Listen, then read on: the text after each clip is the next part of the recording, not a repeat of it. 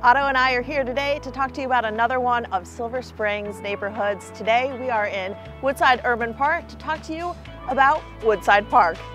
This is one of the oldest suburbs in DC and one of the most sought after in Silver Spring.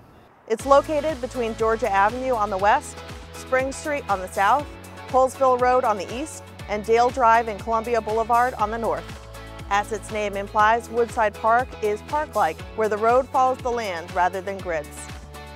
It used to be known as Alton Farm, the home of Crosby Stuart Noyes, who owned the Washington Evening Star newspaper.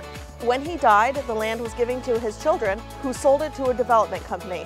The company divided the estates into one-acre lots. These one-acre and now half-acre lots feature houses set back from the road.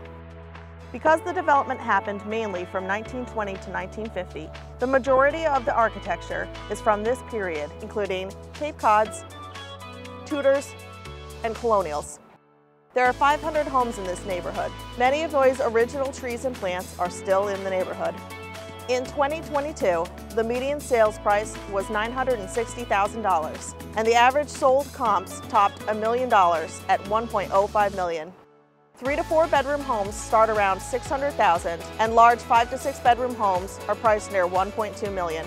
The average days on market is 22. Most homes sell just above list price with a 101% average sales price to list price ratio. Woodside Park features a variety of community amenities, including a community park, picnic area, and playground. The 2021 concept drawings for the renovation include a new skate park, basketball court, soccer court, tennis courts, and more. Construction begins this year. Because it's walking distance to downtown Silver Spring, you get access to the Metro, dozens of restaurants, and grocery stores like Trader Joe's and Whole Foods. It's easy to commute with 495, Georgia Avenue, and Route 29. Schools include Woodlin Elementary, Sligo Middle, and Albert Einstein High. Transit includes the Metrobus and ride-on buses throughout this neighborhood, and the Silver Spring Metro Station is a 15-minute walk